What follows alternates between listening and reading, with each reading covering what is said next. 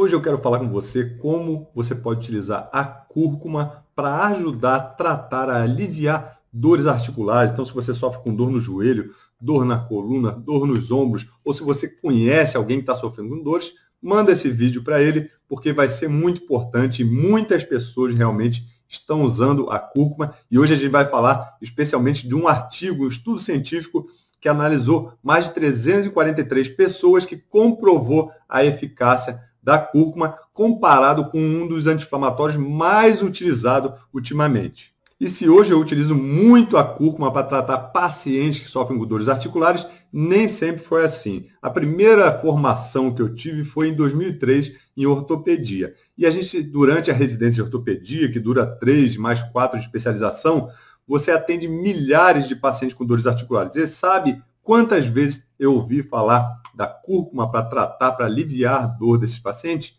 Nenhuma vez. Ah, os residentes, os médicos são bombardeados pela indústria farmacêutica, que ficam cada vez mais querendo mostrar que um anti-inflamatório é melhor do que o outro, e no final a gente acaba acreditando. Então eu tive que buscar por conta própria. Eu fiz várias especializações, por exemplo, fiz pós-graduação em medicina integrativa, depois fiz pós-graduação em nutrologia, fiz pós-graduação em medicina do esporte, depois fiz pós-graduação em medicina regenerativa, onde eu dou aula hoje em dia nessa pós-graduação.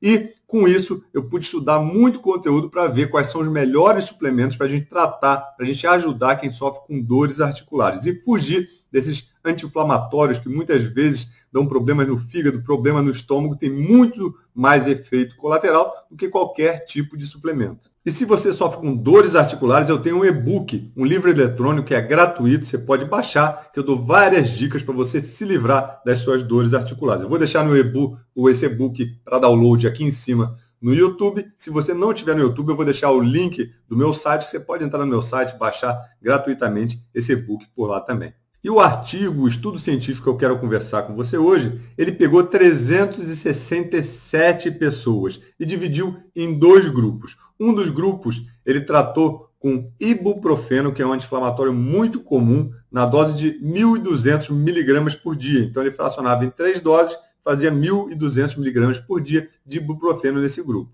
E no outro grupo, ele tratou com a cúrcuma longa, com açafrão da terra, açafrão da Índia, na dose de 1.500 miligramas por dia, dividido em três doses também, de 500 miligramas.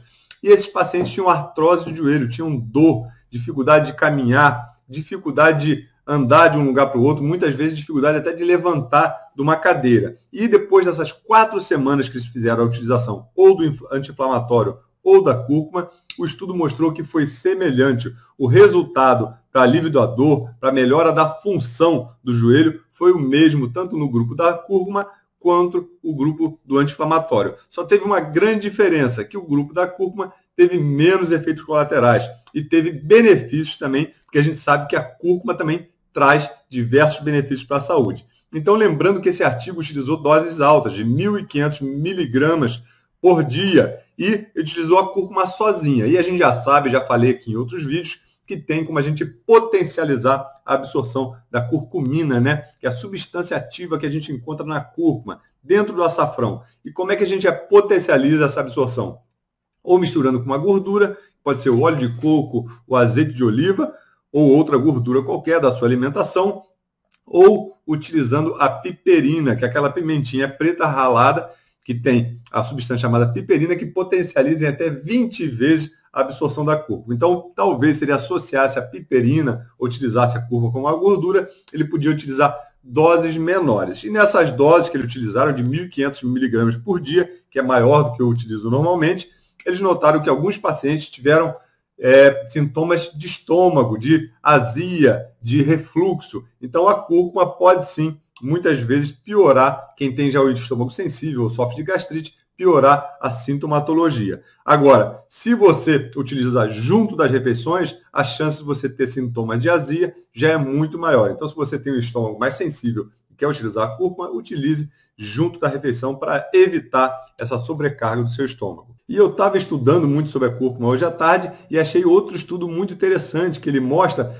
que a cúrcuma é utilizada para diminuir os efeitos tóxicos de metais pesados, por exemplo, que a gente se intoxica na nossa alimentação, como mercúrio, por exemplo, e eles danificam o nosso fígado. E a cúrcuma diminui esse dano hepático, inclusive ela pode até se quelar, se juntar aos metais pesados para ajudar na excreção desse metal. Então, ela além de diminuir a agressão contra o fígado, ela pode ajudar o seu corpo a se livrar de alguns metais tóxicos. Então, não tem a ver muito com esse vídeo de hoje, mas é um ponto interessante também, outro benefício da cúrcuma. Além de, por exemplo, aumentar o BDNF, que é o fator neurotrófico derivado do cérebro, que melhora a sua capacidade cerebral, a conexão entre as suas células cerebrais. Ela é importante para o coração, para diminuir a quantidade de LDL oxidado, que é aquele LDL, aquela gordura que acumula nas suas artérias, começa a fazer placa dentro das suas, suas artérias.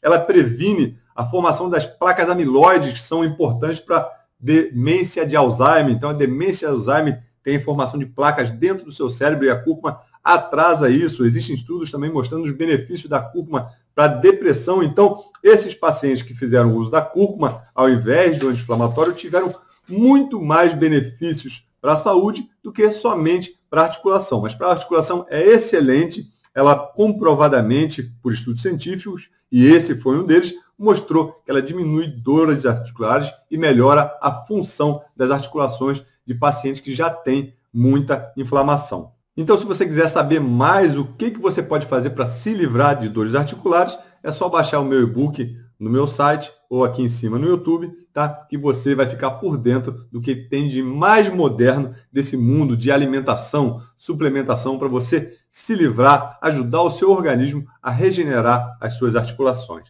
Tá bom? Muito obrigado por ficar comigo até aqui. A gente se vê no próximo vídeo. Até mais.